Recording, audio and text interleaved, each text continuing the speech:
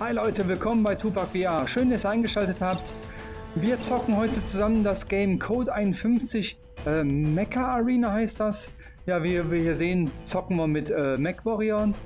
Ähm, ja, was mich tierisch an dem Game stört, ich habe die ganze Zeit einen Kreis, sogar bei mir, wenn ich spiele, jetzt hier gerade nicht. Aber im Spiel habe ich die ganze Zeit hier so einen Kreis, den werdet ihr auch leider sehen. Äh, es gibt keine Möglichkeit, das momentan anders zu zeigen.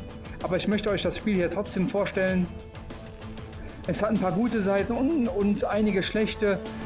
Also äh, das werdet ihr aber auch gleich sehen. Das ist jetzt so eine Prakt ja, Practice-Runde gegen äh, Bots. Und ich würde sagen, wir fangen direkt mal an. Viel Spaß!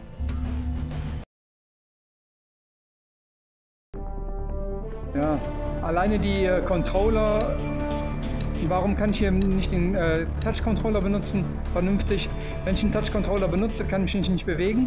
Ihr seht, ähm, Ihr seht den Kreis jetzt wahrscheinlich auch. Ich hoffe, das kann man irgendwann nochmal deaktivieren. So, wir können so ein bisschen fliegen nach vorne. Eigentlich ganz cool, aber wäre geiler, wenn ich mit dem Touch-Controller wirklich die Arme extra bewegen könnte. Aber vielleicht kommt das noch alles. Eigentlich brauchen wir ja für VR so einen richtigen MacWarrior Shooter. Oh, was sind denn jetzt hier die Gegner?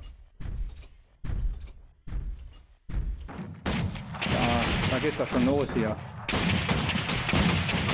Und wir kriegen sich zwei. Ich habe hier auch so ein Schild, wie ihr seht. Das für kurze Zeit dann aktiv ist. Oh, wo ist das andere?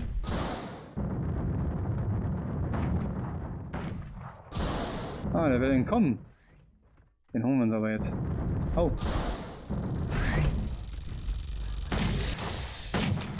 Oh. Muss man aufpassen, dass wir nicht gleich hier im Rücken fallen. Mit der LB-Taste kann man so ein bisschen nach, ganz schnell nach vorne jumpen. Ja, die haben das ja tierisch auf Komfort gemacht.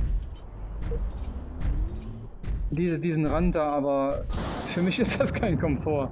Das ist genau das Gegenteil. Also größtes Manko bei dem Spiel jetzt momentan und äh, ich würde gerne trotzdem meine Touch-Controller vernünftig benutzen können. Warum ich jetzt... Wow.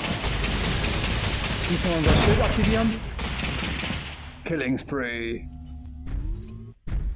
Das war natürlich gerade blöd. Ich bin gesprungen und habe dann äh, da gar nichts mehr gesehen. Na gut, ist auch klar, weil das Cockpit so groß ist.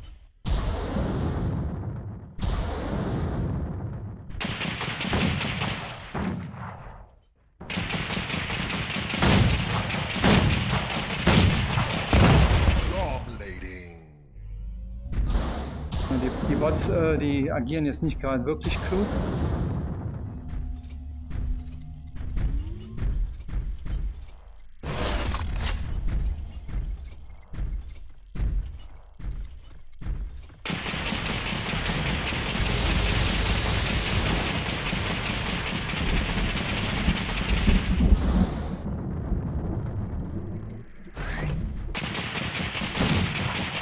Weiß auch nicht, ob man äh, nachher hier seinen, seinen MacWarrior upgraden kann, äh, wenn man dann irgendwie im Multiplayer zockt. Da war doch gerade hier einer, oder? Mal Raketenantrieb mal ein bisschen testen.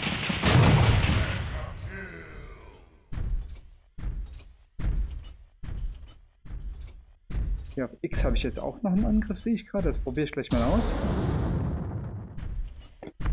Ach, das ist er. Okay, ich benutze immer LB, aber es geht auch auf X. Okay.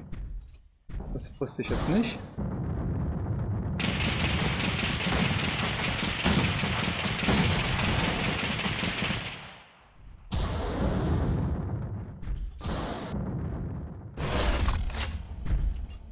Wo ist er hin? Wo ist er hin?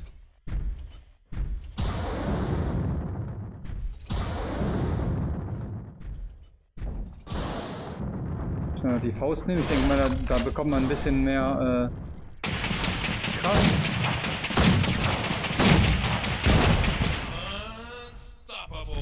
Ich weiß nicht, ist, ist mein Bot hier so ein bisschen OP? Kann natürlich sein, ne? Weil irgendwie haben die ja gar keine Chance, die anderen. Auch wenn es jetzt nur Bots sind, aber...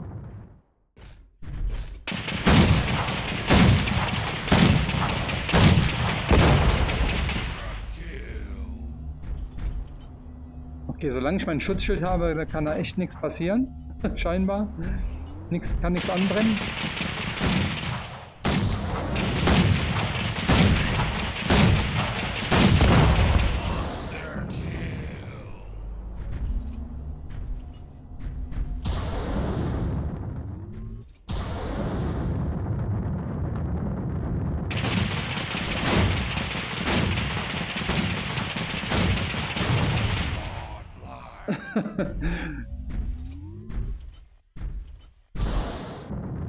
Was ist denn hier los, Leute? Strengt euch an.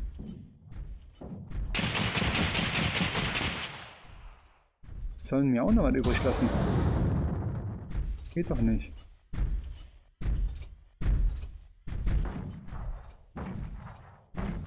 Komm, wir schnappen uns mal hier. Faust. Die Faust Gottes.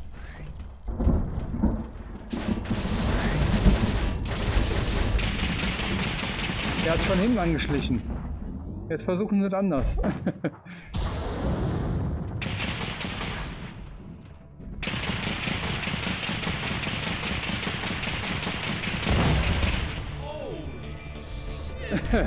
Holy shit. Balance.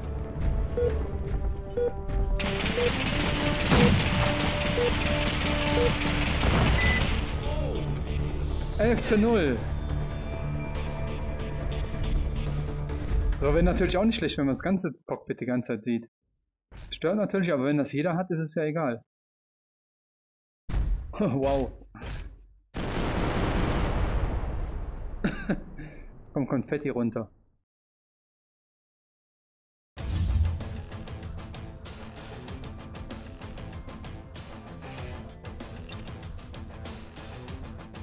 Wir uns mal in Multiplayer wagen. Ich weiß nicht, wie schnell man da Gegner findet, aber probieren wir einfach mal.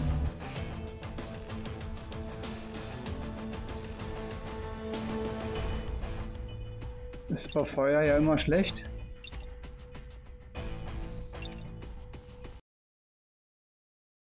Okay. Los geht's, unser erster Multiplayer-Kampf.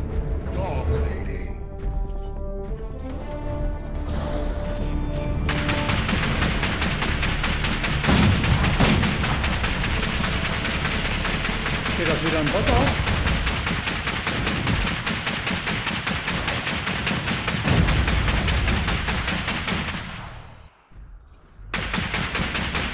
Der verhält sich schon schlauer.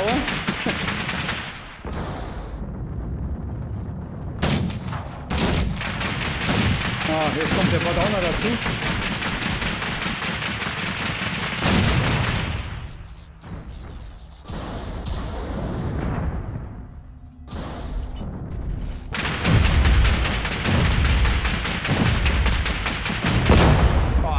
Mich weggeballert.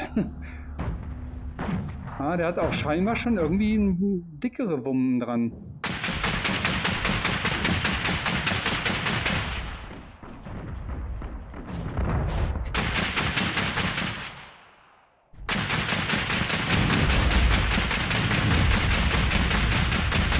Ja, der hat irgendwelche Plasma-Dinger dran oder so.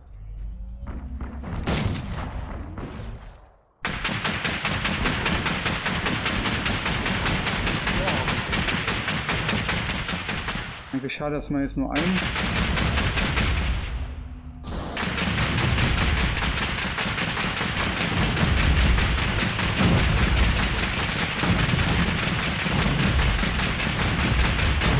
Ja, jetzt habe ich ihn auch mal gekriegt. Go to Park, go to Park.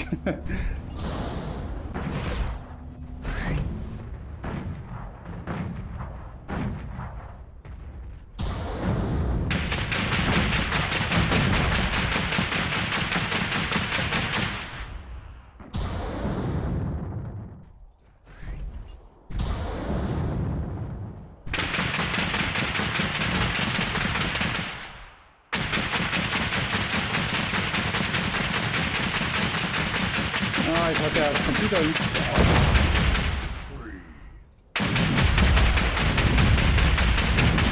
Boah, was hat der für... Extra Waffen hier. Boah.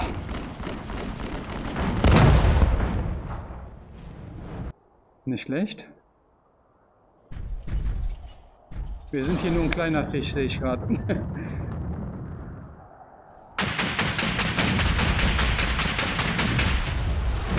ja, ist klar.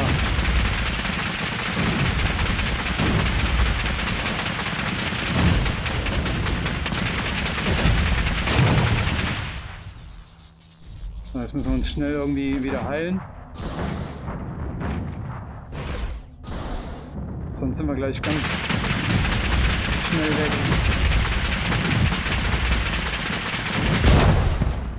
Ja, das war klar. Wir haben aber keine Reparaturschlüssel äh, da gefunden.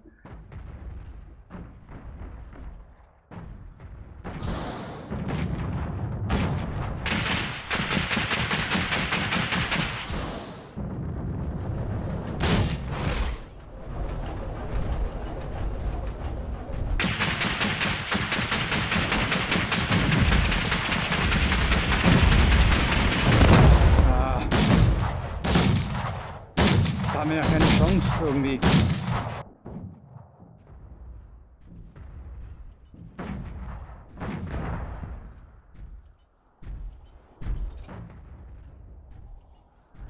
Müssen wir uns irgendwie jetzt...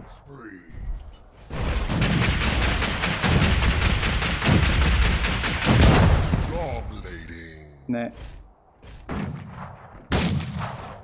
Das ist ja echt übel, der Typ. Der hat, der hat Raketen, der hat ganz andere Bomben. Und wir haben hier nur diese...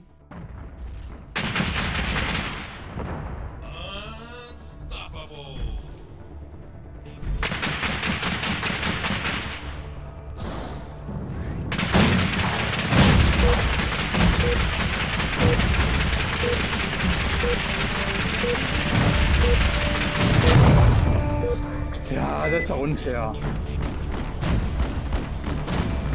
Da kann er sagen, was er will, der war OP. Der war doch viel besser, der, der, der Mech.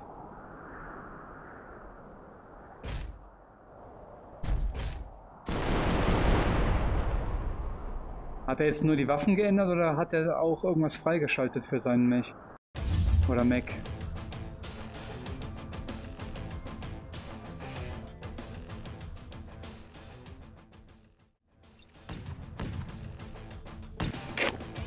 Okay Leute, das war Code 51 Mecha Arena. Ja, was soll ich sagen? Äh, hat Vor- und Nachteile das Spiel. Also ja, Nachteil, ich kann den äh, Dings nicht äh, benutzen, den, den Touch Controller. Also das funktioniert nicht so wirklich. Ähm, ja, dieser Kreis, Anti-Motion Sickness Kreis, äh, den man da immer sieht, äh, der stört auch tierisch.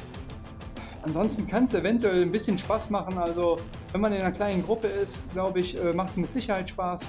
Ich weiß nicht, äh, ich habe jetzt noch nicht wirklich äh, rausgefunden, ob man da irgendwelche Upgrades kaufen kann für seinen Mac. Aber äh, vielleicht kommt das ja auch noch. Auf jeden Fall, der Gegner gerade, der hatte ja viel, meiner Meinung nach viel bessere Waffen als ich. Ich hatte nur die, dieses komische Maschinengewehr. Der hatte aber Plasma und irgendwie Raketen dran. Von daher war der meiner Meinung nach so ein bisschen im Vorteil. Aber ich kann mich auch irren, keine Ahnung, vielleicht bin ich auch einfach nur zu schlecht. Ja, auf jeden Fall, das war Code 51. Wenn euch das Video gefallen hat, haut ein Like raus, ein Abo wäre nice und ich würde sagen, bis dann. Ciao.